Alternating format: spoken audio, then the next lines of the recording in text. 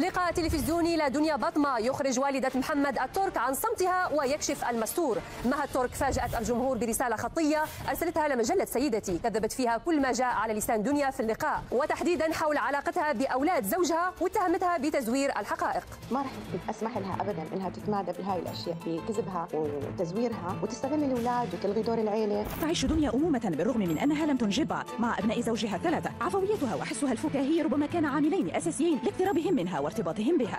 هالفيديو أغضب مها الترك والدة زوج دنيا بطمة وجدة حلا ترك ودفعها لإرسال رسالة لمجلة سيدتي أعلنت فيها بأنها قررت الرحيل من بيت ابنها محمد بسبب أفعال دنيا وتزويرها لحقيقة تعاملها مع أحفادها اللي دائما بتحرص على إظهارها بأحسن الأحوال.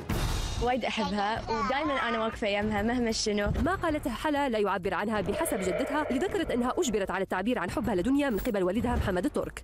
حتى حفلاتها ساعات أروح وياها عشان أحسس إني أنا يمها دائما جدة حلا أكدت بهالرساله صحه هالاشاعات اللي قالت إنه في خلافات داخل عائلة الترك وأبرز المتأثرين كانوا الأولاد. بالمقابل البعض تساءل عن توقيت هالتصريح خاصة إنها ليست المرة الأولى اللي تظهر فيها دنيا مع أولاد زوجها وبنفس الطريقة. هي تعرف تعرف إيش كثر أنا أحبها. سابقا ما كان بيني وبين دنيا أي مشاكل لأنه بصراحة كان كذبها وتمثيلها وتزويرها للحقائق مقتصر عليها هي وعلى أمورها الشخصية. لكن تماديها واستغلالها للأولاد لتحسين صورتها كما ادعت كان أكثر ما أزعجها في هالفيديو خاصة لقطة الطفل عبد الله وهو بيحمل كاسة الشاي. في لقطة اعتبرتها تمثيل زيف ادعاء دنيا بالعناية بالأطفال. كل اللي بقوله إنه ما في أحد فوق القانون. في محاكم شرعية في حماية طفل في أمور كثيرة. لحد الآن لم يخرج أي رد رسمي من محمد ولا دنيا حول هالاخبار لكن أكيد إحنا بنتمنى أنه هالقضية كلها تنتهي على خير.